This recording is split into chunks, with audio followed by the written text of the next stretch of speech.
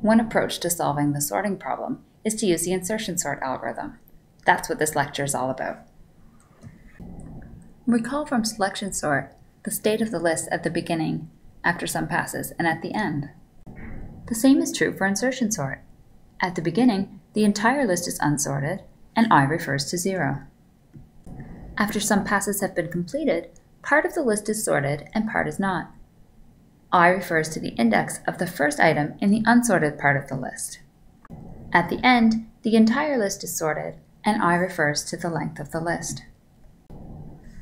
For insertion sort, one pass of the algorithm involves taking the item at index i and including it in the sorted section of the list. Let's look at an example.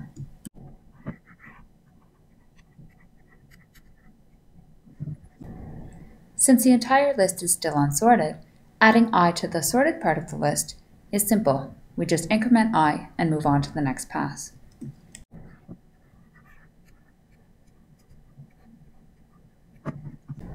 The 7 is compared with the 3, and since 7 is greater than 3, it's in its correct position.